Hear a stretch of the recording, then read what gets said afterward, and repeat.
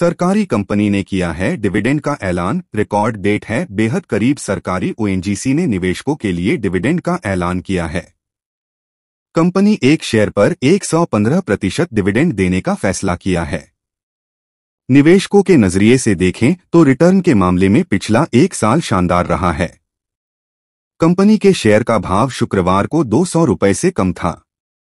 आइए डिटेल्स में जान लेते हैं, इस सरकारी कंपन के विषय में किस दिन है रिकॉर्ड डेट शेयर बाजारों को दी जानकारी में कंपनी ने कहा है कि पाँच रुपए के फेस वैल्यू वाले एक शेयर पर पाँच दशमलव सात पाँच रुपए का डिविडेंड निवेशकों को दिया जाएगा। यानी हर शेयर पर योग्य निवेशकों को 115 प्रतिशत का फ़ायदा होगा। बता दें ओएनजीसी ने डिविडेंड के लिए 21 नवंबर 2023 की तारीख को रिकॉर्ड डेट घोषित किया है। यानी परसों एक्स डिविडेंड डेट है।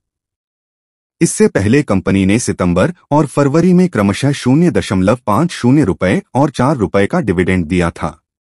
बता दें, पिछले साल भी कंपनी ने डिविडेंड के लिए 21 नवंबर 2023 की तारीख को डिविडेंड के लिए रिकॉर्ड डेट तय किया था। तब कंपनी ने एक शेयर पर छह दशमलव सात पाँच रुपए का डिविडेंड दिया था। शेयर बाज़ार में ओएनजीसी का प्रदर्शन रहा है। शानदार शुक्रवार को दो प्रतिशत से अधिक की गिरावट के बाद सरकारी कंपनी के शेयर का भाव बीएसई में लुढ़क कर एक सौ छियानवे दशमलव दो पाँच रुपए के लेवल पर आ गया था। बीते एक साल में कंपनी के शेयरों की कीमतों में 45 प्रतिशत से अधिक की तेज़ी देखने को मिली है। वहीं छह महीने पहले इस स्टॉक को खरीद कर होल्ड करने वाले निवेशकों को अब तक 18 प्रतिशत से अधिक का लाभ मिल चुका है।